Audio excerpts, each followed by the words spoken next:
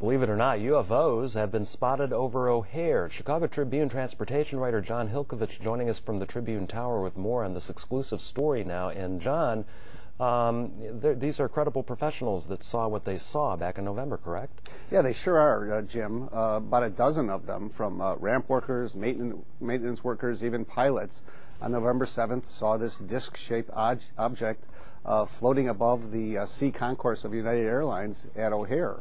Uh, very low in the sky. It was still daylight, very distinct. Uh, didn't uh, look like an airplane, a helicopter, or anything else uh, they've, they've seen. And they have reported this both to their airline and to the FAA. And these career professionals are telling you, John, that they're, they're, they in no way would they ever play games that could affect the lives of the some hundreds of thousands of people that, that fly through O'Hare. This is really they're they're they're very determined and and, and convinced they saw what they saw. Oh, they're they're completely serious about this, and they want to get to the bottom of it. And they're concerned that whatever it was, even if it was some kind of military craft or some something else, uh, that it be identified because it could pose a safety hazard.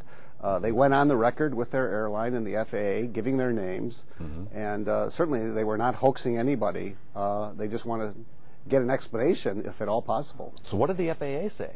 Well, the FAA uh, at first denied it when I called them, saying, We don't know what you're talking about. Hmm. I put in a Freedom of Information request, and then when the FAA went through communications tapes, uh, they called me back and said, Well, yes, actually, there was quite a bit of radio talk, and a United Airlines supervisor did call the O'Hare Tower and inquire if controllers had seen anything uh, out of the ordinary up there.